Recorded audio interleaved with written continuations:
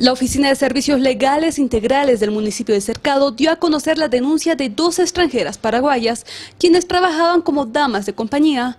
Ambas aseguran haber sido obligadas a tener relaciones por un sujeto de nacionalidad peruana. Eh, según hacen referencia, ellas estaban yendo, tenían una amistad y pues ha sido en ese momento en la cual el agresor ha ejercido violencia a efectos de eh, obligarlas a mantener una relación sexual usando armas de juego y objetos punzocortantes. El agresor fue capturado el pasado lunes y responde al nombre de David Junior Segura de la Cruz, quien contactaba a sus víctimas vía teléfono. Por el momento se encuentra detenido y en espera de su audiencia de medidas cautelares. El Ministerio Público ha hecho una investigación muy rápida y precisa, ya tenemos una imputación por uno de los casos y pues estamos a la espera de que se le pueda notificar y se dé sus audiencias de medida cautelar.